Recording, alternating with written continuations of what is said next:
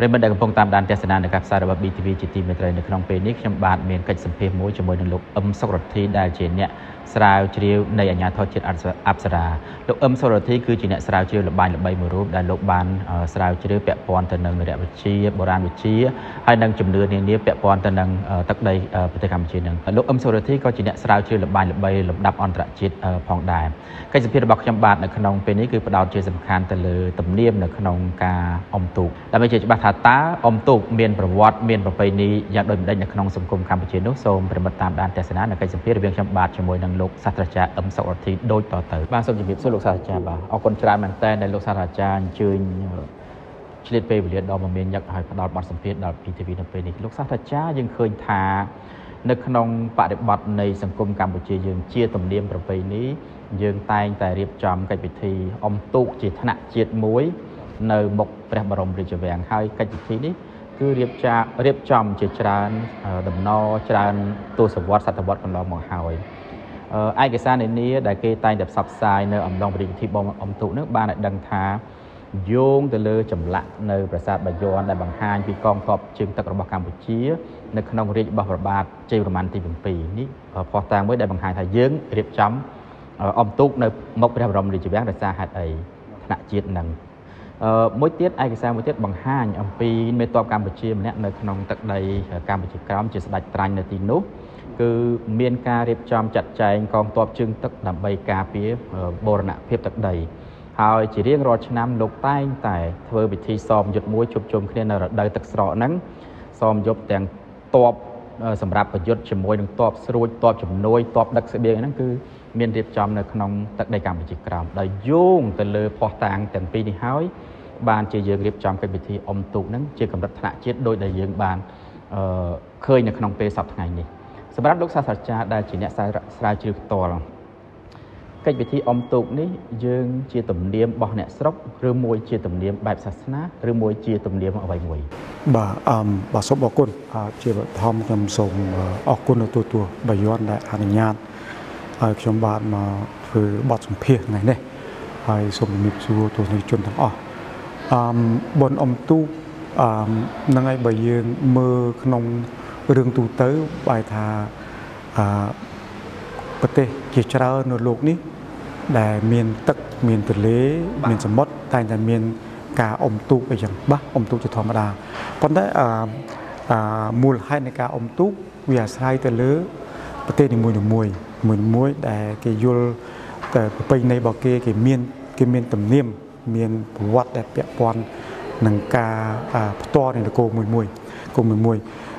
យើងយើងអឺយើងសម័យក្រោយក្រោយមកដល់ថ្មីថ្មីនេះយើងបានឃើញមានឯកសារឃើញមានការនិយាយអឺតតគ្នាមកនេះថាតកតងដូចនឹងអឺលោកបានមានប្រសាសន៍មិញគឺថាមានចម្លាក់ផងមានផតាងនៅកម្ពុជាក្រោមផងដែលថាមានតកតងមួយតបជើងទឹកអីឡាក់ឡាក់អឺនោះគឺសេចក្តីដែលយើងយកមកបញ្យលអឺ ជាចុងក្រោយប៉ុន្តែបើតាមការស្រាវជ្រាវអឺហ្នឹងហើយមិនមែនតែខ្ញុំទេមានរៀមច្បងមានសាស្ត្រាចារ្យដទៃទៀតអឺដែលបានធ្វើកន្លងមកណាកន្លងមកច្រើនណាស់មានលោកលោកគ្រូអង្គជូលៀនមានអតីតទៀតឡាក់ដែលធ្វើកន្លងមកនោះអឺយើងមិនទាន់រកឃើញផតតាងឲ្យបានភ្ជាប់គ្នាអំពីបុរាណដូចយើងប្រើពាក្យថាបុរាណសម័យបុរាណណាហ្នឹងហើយបុរាណនឹងវាវាវាមាន អផោះតាងដូចនិយាយមិញតកតងមួយតបហ្នឹងឲ្យទៅបុរាណវាដូចអត់ទាន់ឃើញមានណាយើងខ្ញុំតឃើញមានប៉ុន្តែអឺប្រហែលអាចក្រោយក្រោយមកមិនដឹងអាការហ្នឹងគឺការនិយាយឮមកតតគ្នាដូចជារឿងរ៉ាវផ្សេងផ្សេងនៃប្រវត្តិសាស្ត្រនៃប្រវត្តិកន្លែងមួយមួយនៃប្រាសាទអីខ្លះទៅជួនកាលឃើញយើងពុំមានយើងយើងបាត់យើងដែលភ្លេចឬក៏បាត់មកពេលនៃប្រវត្តិសាស្ត្រ ដើម្បីពយល់នៅស្ថានីយ៍នៃព្រឹត្តិការណ៍មួយប៉ុន្តែយើងយើងបានយករឿងព្រេងយកមកជំនួសណាយកយកយករឿងព្រេងយកមកជំនួស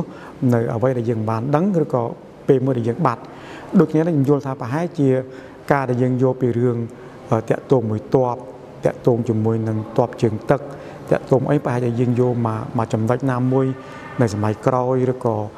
ស្អីមួយបំពេញការការដែលយើងមិនបានចងចាំណាប៉ុន្តែប៉ុន្តែបើយើង ចំពោះការស្រាវជ្រាវបែបវិទ្យាសាស្ត្រយើងរុញទៅយើងមើលទៅគេថាវាអត់មានពាក់ព័ន្ធនឹងបុរាណអំពីពីកំណើតនៃបុណ្យអំទូកតែម្ដងដែលកំណើតដែលកំណើតអំទូកមកបើថាប្រវត្តិសាស្ត្រយើងមិនមែនទុំកើតមក100 200ឆ្នាំ300ឆ្នាំឬក៏ប្រហែល100ឆ្នាំទេវាមានយូរលង់ច្រើនមកហើយវាតាំងពីកំណត់កំណត់នៃមនុស្សដែលមករស់នៅលើទឹកដីយើងម្លេះមនុស្សមករស់ទឹកដីយើងវាមានកំណត់តាំងពីរាប់ម៉ឺនឆ្នាំមុនហើយទៅអឺ ដោយសារផែនដីយើងជាផែនដីដែលនឹងមានដីមានគោកមានអីទៅ ការធ្វើទូកការធ្វើអីផ្សេងផ្សេងក៏វាមិនមែនទុំតែយើងចាប់ផ្ដើមទទួលអយធនវាទើបអត់មានទូកទេមិនមែនទេយើងក៏មានមុននឹងដែរណាមាននឹងដែរដូច្នេះហើយនឹងយើងទៅមុជជ្រៅឲ្យទៅឲ្យជ្រៅបន្តិចឲ្យជ្រៅបន្តិចអប្រពៃណីតាក់ទងជាមួយនឹងទឹកប្រពៃណីដែលតាក់ទងជាមួយនឹងអាកាសតាក់ទងជាមួយនឹងធម្មជាតិផ្សេងផ្សេង គឺថាជារឿងមួយសំខាន់នៅក្នុងប្រទេសដែលទទួលឥទ្ធិពលដូចទីហោយើងឥទ្ធិពលអាស៊ីមូសុងទទួលទៅឥទ្ធិពលមូសុងហើយទៅមានប្រទេសដទៃទៀតមានឥទ្ធិពលផ្សេងទៀតក៏របៀបនៃនៃការបប្រតិបត្តិរបស់គេឃើញគ្នាដែរបើយើងត្រឡប់មកយើងកុំនិយាយទៅវិញឆ្ងាយទៅគេយើងប៉ុនដែលយើងទទួលមួយទូកនេះគឺថាអឺអឺបើយើងមើលអីវែងឆ្ងាយទៅវាមិនមែនតកតងជាមួយនឹងព្រហ្មញ្ញសាសនាមិនមែនតកតងមួយពុទ្ធសាសនា ទេវាអត់មានបានតាក់ទងនៅនឹងរឿងនោះបានជ្រៅបានជ្រៅទេវាអត់មានតាក់ទងនឹងរឿងសាសនារឿងប្រពៃនេះប៉ុន្តែវាអាចតាក់ទងជាមួយនឹងជនជាតិខ្លួនឯងបើថាមនុស្សដែលមករស់នៅទឹកដីហ្នឹងមានតែថាមនុស្សកើតពីដីហ្នឹងមើលឃើញធម្មជាតិរាល់ថ្ងៃមើលឃើញទឹកឡើងមើលឃើញទឹកស្រកមើលឃើញមើលឃើញពេលទឹកជន់ ហ្នឹងហើយមើលមើលឃើញពេលអឺពេលគោះរាំងស្ងួតមើលឃើញពីបរិស្ថានជុំវិញហើយគាត់រស់នៅនៅក្នុងតំបន់ត្រូពិកដែលជាតំបន់ដែលអាស្រ័យរស់នៅបានមនុស្សរស់នៅបានក្នុងក្នុងយើងនៃជនជាតិដែលរស់នៅតំបន់នោះគឺអាស្រ័យលើកសិកម្មដូច្នេះហើយរឿងកសិកម្មជារឿងមួយធំនឹងរឿងពេលវេលាអីអីហ្នឹងគឺរឿងមួយធំដែរពេលវេលាបើថាពេលវេលាផងតាក់ទងជាមួយនឹងធម្មជាតិតាក់ទងមួយរដូវជារឿងមួយសំខាន់នោះហើយបើឲ្យវាវាឲ្យវាឲ្យជាកំណើតឲ្យជាកំណើតនៃនៃអាពិធីហ្នឹងពេលដែលមានឧទាហរណ៍កំណើតនៃអាកិច្ចការអស់ហ្នឹងដែលយើងមានមានពីកំណើតមកពេលដែលអរិយធម៌ឥណ្ឌាចូលមកយើងក៏ចាប់ដើមភ្ជាប់ខ្លួនទៅនឹងឧបមាថាពីមុនយើងរឿងអ្នកតាប៉ុន្តែក្រោយមកមានព្រះឥសូរចូលមកសេវលឹងចូលមកអាហ្នឹងវាទៅជាសេវលឹងវាទៅជាអ្នកតាវាមិនទៅលេងអ្នកតាហើយវាទៅជាទេពព្រះរបស់ព្រហ្មញ្ញសាសនាហើយបាប់ ពេលព្រហ្មញ្ញសាសនាចប់ផុតទៅវាត្រឡប់ទៅអ្នកតាវិញហ្នឹងហើយបាទដូច្នេះហើយអាហ្នឹងដែលយើងយកជាគោលដូច្នេះបុណ្យអំទូកដែលខ្ញុំយល់ដែលយើងឲ្យអ្នកដែលស្រាវជ្រាវយើងយល់ថាវាមិនអាចវាវាមិនធំត្រឹមតែមានពេលខ្លីហ្នឹងទេមិនធំថាតាក់ទងមួយចម្បាំងទេបើយើងយកចម្បាំងយកមកមកមកធ្វើជាផោះតាងអាងបើសិនជាវាត្រឹមត្រូវដូច្នេះប្រវត្តិសាស្ត្រយើងខ្លីណាស់មិនចឹងបើខ្លីណាស់ធំហ្នឹងខ្លីណាស់ ចឹងខ្លីណាស់ដូចយើងប្រតិបត្តិពុទ្ធសាសនាចឹងបើយើងប្រតិបត្តិពុទ្ធសាសនាបរិសុទ្ធត្រូវតាអត់មានដុតទៀនដុតធូបអត់មានបោះបាយបិណ្ឌអត់មានធ្វើអីអីតាមប្រវត្តិទេបើថាពុទ្ធសាសនាយើងនេះវាខ្លីណាស់ទុំកាត់មកថ្មីថ្មីនេះទេណែដូច្នេះហើយពុទ្ធសាសនាដែលដើមដែលមកជាមួយនោះវាមានផ្សំគ្នារវាងប្រពៃណីនៅប្រពៃណីរបស់អ្នកស្រុកអញ្ចឹងទៅអានោះបានធ្វើឲ្យបានទាញប្រវត្តិសាស្ត្ររបស់ជាតិខ្មែរហ្នឹងវែងទៅឆ្ងាយបន្តិចហើយបើយើងគិតត្រឹមតា បរិសុទ្ធគឺវាវាបាត់អប្រពៃណីបាត់បាត់យូរហើយហើយបើយើងគិតតែធំតែឬតែទុំមួយចម្បាំងវាបាត់បាត់យូរហើយហ្នឹងហើយពូជពូជខ្មែរដែលចេះទូកចេះធ្វើទូកចេះធ្វើអីដើរសំពៅទៅឆ្ងាយឆ្ងាយមនុស្សដទៃទៀតអាចហ្នឹងហើយដើរសំពៅទៅរាប់រាប់ពាន់គីឡូទៅណាឆ្ងាយមិនមែនទុំកើតនៅសម័យបាត់ជ័យបានទី7ណាកើតយូរហើយដូច្នេះហើយហ្នឹងអាហ្នឹងយើងយើងអាចថាចុះប៉ុន្តែធំធំផ្ទះហើយក៏មួយផ្សេងតែក៏ប៉ុន្តែ កំណើតខ្មែរវាវែងឆ្ងាយណាដូច្នេះហើយប៉ុនអំទូនឹងវាមានដើមតងវាតកតងផ្ទាល់ជាមួយនឹងប្រពៃណីទំនៀមទម្លាប់របស់អ្នកស្រុកខ្មែរយើងដែលយើងថាប្រទេសយើងតំបន់ត្រូពិចតែយើងដែលមានយើងបាតឆ្នាំងខ្ទះមានទលេសាបទលេមេគង្គវាជាជាជាផ្លូវជាដង្ហើមរស់នៅសពថ្ងៃនឹងអាហ្នឹងហើយគឺជារឿងសំខាន់ចេញពីនោះបាទលោកសាស្ត្រាចារ្យអ៊ំទូកគឺជាប្រពៃណីរបស់អ្នកស្រុកនៅជាពិសេសនៅតាមជាប់នឹងផ្លូវទឹក ទន្លេស្ទឹងបឹងបួអីហ្នឹងជាទំនៀមគឺជាមធ្យោបាយនៅក្នុងការដោះស្រាយឆ្លងទៅទីគោកនានាមិនបានកើតមានការប្រណាំងគ្នានេះបើសិនជាគ្រាន់តែជាមធ្យោបាយនៅក្នុងការចម្លងពីគោកមួយទៅគោកមួយទៅហ្នឹងហើយទៅហើយអឺទី1ជាមធ្យោបាយប្រើប្រាស់ហ្នឹងហើយទី2អឺហ្នឹងហើយទី2ជារឿងមួយដែលជាថាជាកិច្ចណាបើជាកិច្ចពិធីវាមានការសបាយផង ហ្នឹងហើយការសបាយផងហើយនឹងមានកិច្ចផងហ្នឹងដូចទីហោឧទាហរណ៍ងាយយល់ទេបបធរខ្មែរយើងបុតមួយនៅក្នុងវត្តទីហោណាក្នុងវត្តក្នុងវត្តតែមួយហ្នឹងគេគេថាមានកិច្ចពិធីបែបសាសនាហើយមានលបែង លបាយហ្នឹងមិនមែនស៊ីសងទេណាលបាយហ្នឹងគឺមានមានមានមានបានលេងកំសាន្តមានមានមានច្បាប់មានអីពីមុនមានច្បាប់ហ្នឹងឥឡូវប្រហែលទីទៀតថាអាចមានច្បាប់មកវិញមានច្បាប់មានកីឡាមានអីចឹងណាហើយមានលខោនលខោននឹងមានលខោនសមោលផងមានលខោនស្បែកផងលខោនយូគេផងលខោនហ្នឹងគ្រប់បែបយ៉ាងអានោះហៅលបាយគេវាមានការកំសាន្តអានោះគឺការកំសាន្តណាចឹងមកថាកំសាន្តហើយហើយនឹងហើយនឹងប្រពៃណីហើយនឹងកិច្ចពិធីវានៅជាប់គ្នាអត់ដាច់ដាច់ពីគ្នាទេដាច់គ្នាប៉ុន្តែរបស់ខ្លះវាជាកិច្ចពិធីសុទ្ធ អុំទូកនេះវាវាវាអាចវាវាមានមកអាចមានពីរអាចមានមកទី1កិច្ចកំសាន្តនិងកិច្ចកំសាន្តផងហើយទី2ជាជាជាកិច្ចពិធីប៉ុន្តែអាការកំសាន្តនិងកំសាន្តបែបបែបណាគឺកំសាន្តដែលយើងតាប់តាមឃើញគេចាប់ដើមចេញក្នុងរៀងរាល់ឆ្នាំរឿងអុំទូកនេះគឺយើងចេញមកទៅពេលណា គឺចេញមកគឺក្នុងរវាងរវាងភ្ជុំ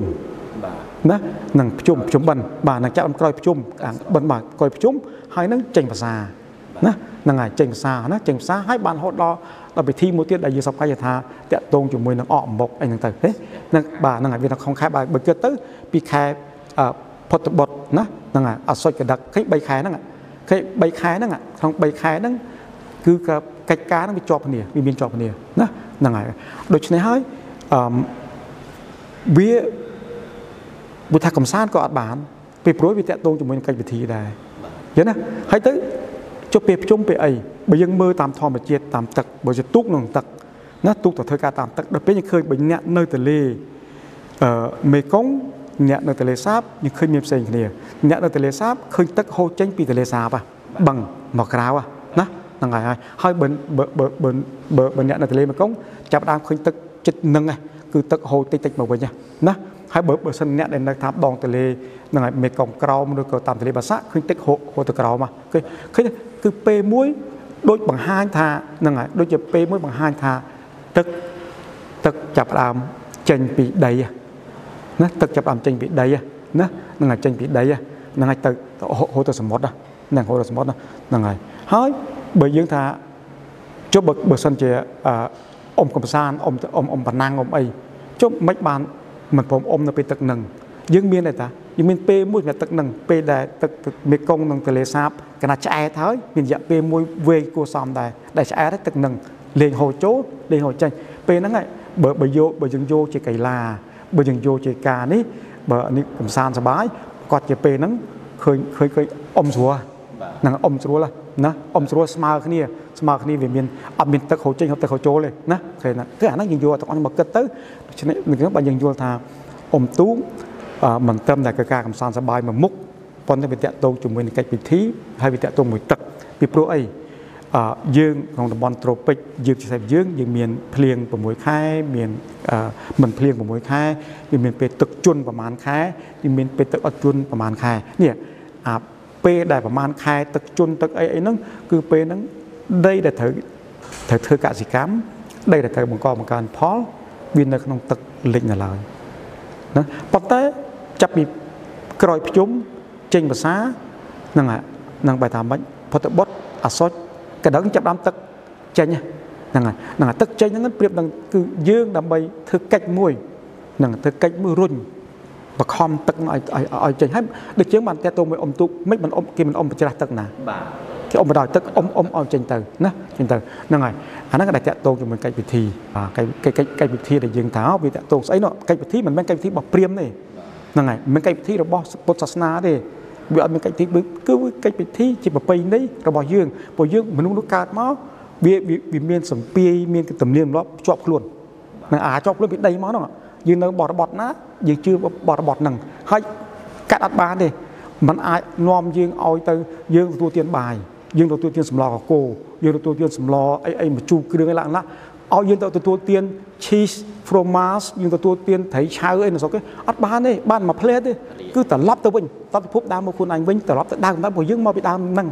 ដើមហ្នឹងបើមិនហ្នឹងឲ្យបៀបចឹងបៀបចឹងបៀបអាហ្នឹងជាប្រពៃណីរបស់យើងបាទហើយខ្ញុំខ្ញុំរុញទៅមុខទៀតកិច្ចពិធី ដែលដែលយើងឃើញសពថ្ងៃដែលយើងហៅថាបរិយាពិធីហ្នឹងបរិយាពិធីអុំទូកហើយយើងភ្ជាប់ជាមួយ3ទៀតណាបរិយាពិធីអុំទូកអកអំបុកសំពះប្រខែណាហើយនឹងស្អីនោះបាទលុយបតិមួយទៀតហើយអានឹងអានឹងបដិបតិមួយទៀតគេយើងយើងបញ្ចូលចូលគ្នា3 4បរិយាពិធីហ្នឹងគឺជាបរិបរិយើងមួយឈ្មោះមួយឈ្មោះក៏ដឹងហើយថាបរិយាពិធីណាបែរថាព្រះមហាក្សត្រនឹងមួយនឹងព្រះមហាក្សត្រលោកបាន ប្រមូលផ្ដុំរៀបចំឲ្យទៅជាមួយណាឲ្យឲ្យទៅជាបុណ្យជាតិតែមួយបុណ្យជាតិតែមួយតែធំមួយណាដែលផ្ដុំគ្នារវាងបុណ្យ4 5ចូលគ្នាបែរថាមានអំទូមានបដិបតិមានអកអំបុកមានសាពះប្រខែណាហ្នឹងហើយ4នឹងចូលនេះតែមួយណាមួយតែមួយហើយធ្វើតែពេលក្នុងខែតែមួយទេយកនៅខែកដឹកណាខែតែមួយគឺអ្នកដែលនាំអ្នកអ្នកដែលនឹងស្ដេចអង្គព្រះមហាក្សត្រដែលនាំឲ្យរៀបចំធ្វើហ្នឹងគឺប្របាទ យើងប្របាទនរោត្តមយើងនេះដែលប្របាទនរោត្តមពេលដែលលោករើរាជធានីមកពីឧដុង្គមកពីនោះមកមកតាំងនៅចតុមុខពេលហ្នឹងហើយគឺលោកចាប់ផ្ដើមឲ្យមានកិច្ចវិធីនឹងឡើងណាវិធីទាំងអស់ចូលគ្នាបាទរកវិធីចូលនេះទាំងទាំង4ពីមុនហ្នឹងគឺដាច់ថ្ងៃពីគ្នាបាទដាច់ថ្ងៃគ្នាទៅបាទវាអាចផ្សេងផ្សេងគ្នាបាទអាចទៅហើយបានមកចូលនេះទៅពេលតែមួយរករកពេលជុំនេះតែមួយអញ្ចឹងបានឲ្យឈ្មោះពីវិធីហើយប៉ុនហ្នឹងមិនមែនទៅមាន 100ឆ្នាំទេប្រហែលជាអាច150ឆ្នាំ100អីជាងឆ្នាំមុនម្លេះណាដែលអាចកើតពីពេលហ្នឹងបាទតែហ្នឹងហ្នឹងពីមុនក៏មានការដាច់ដាច់ពីគ្នាណាដាច់ពីគ្នា មានប៉ុនបើថាស្ដាច់ផងរះផងដែលចូលគ្នាណាហ្នឹងហើយវាតកតងទៅគ្នាទៅបាទអរគុណច្រើនលោកសាស្ត្រាចារ្យបាទ